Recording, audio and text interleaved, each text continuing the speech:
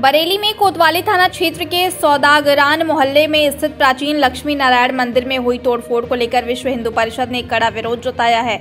इसको लेकर कलेक्ट्रेट पहुँचे विश्व हिंदू परिषद के पदाधिकारियों ने जोरदार नारेबाजी कर तोड़फोड़ करने वालों के खिलाफ प्रदर्शन किया। वहीं आरोपियों के खिलाफ पुलिस द्वारा महज शांति भंग में कार्रवाई किए जाने पर विरोध जताया। इस दौरान प्रदर्शनकारियों ने आरोपियों के खिलाफ कार्रवाई की मांग को लेकर जिलाधिकारी को संबोधित एसीएम फ़र्स्ट को एक ज्ञापन सौंपा। दरअसल, शहर कोतवाली क्षेत्र के बिहारीपुर सौदागरान में दरगाह वाली गली में लक्ष्मी नारायण के प्राचीन मंदिर में दूसरे समुदाय के लोगों ने तोड़फोड़ की थी। इस पर धार्मिक भावनाएँ आहत करने का आरोप लगाकर तमाम हिंदू संगठनों ने जोरदार विरोध किया था।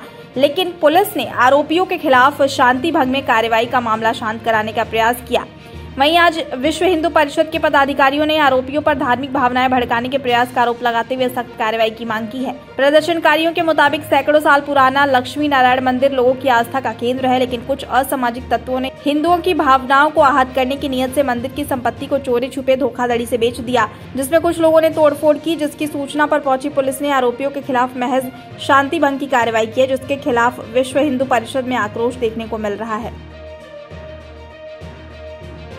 मामला ये है ये मामला पिछले एक साल चल रहा है। इसका हम लोग प्रशासन को आगाह करते रहे कि मंदिर पिकने के कगार पे मुसलमानों को बेच सकता है इसे रोकिए रोकिए।